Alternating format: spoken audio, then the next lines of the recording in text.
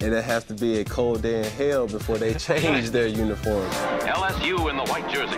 It's Yeah. this is it. We're here to We're- play football, and, and not- that's that's it. We're not changing. Yeah, exactly. I considered a school just because of a uniform. Virginia Tech, that maroon orange collab. Here's Vick taking the snap, scrambling, running with the football. Look at that speed! He's racing all the way into the end zone. I was hoping to get recruited by Oregon.